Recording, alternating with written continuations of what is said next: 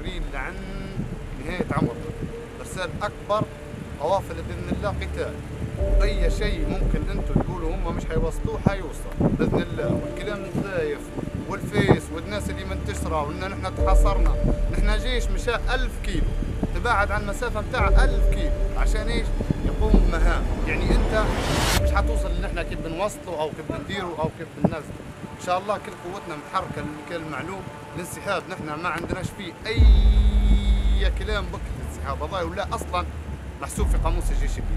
اللي يعرف الجيش الليبي ما يعرفش كلمة انسحاب. وهذه كلمة واضحة للجميع.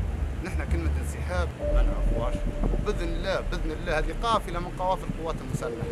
يعني هذه جهة من القوات المسلحة فقط لا غير. بس ما توصيش حاجة في مي نقطة في بحر القوات المسلحة يعني ما بيكمش واحد بإذن واحد أحد يعرف أي اتجاه أو أي مخطط نحن بنديروه جديد حنسحبه حنتراجعه حنتقدمه في نفس الوقت.